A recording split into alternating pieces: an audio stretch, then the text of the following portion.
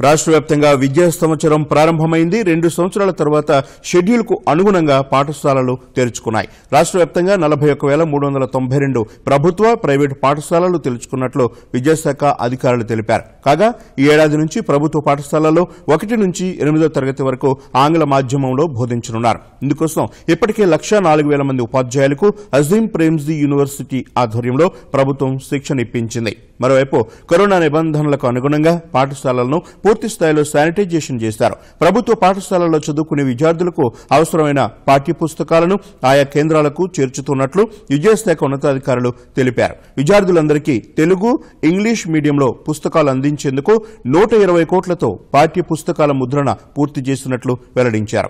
ఉచితంగా యూనిఫామ్ మధ్యాహ్న భోజన సౌకర్యం కల్పించేందుకు అన్ని ఏర్పాట్లు చేసినట్లు తెలిపారు. బడిబాటలో భాగంగా ఈ ఏడాది డెబ్బై వేల ఆరు వందల తొంభై ఎనిమిది మంది పిల్లలు ప్రభుత్వ పాఠశాలల్లో ప్రవేశాలు పొందారు. మరోవైపు ప్రైవేటు పాఠశాలల బస్సులను ఆర్టీఏ అధికారులు తనిఖీ చేస్తున్నారు. పటాన్ చెరువు సమీపంలో ఫిట్నెస్ లేని ఏడు బస్సులను అధికారులు సీజ్ చేశారు.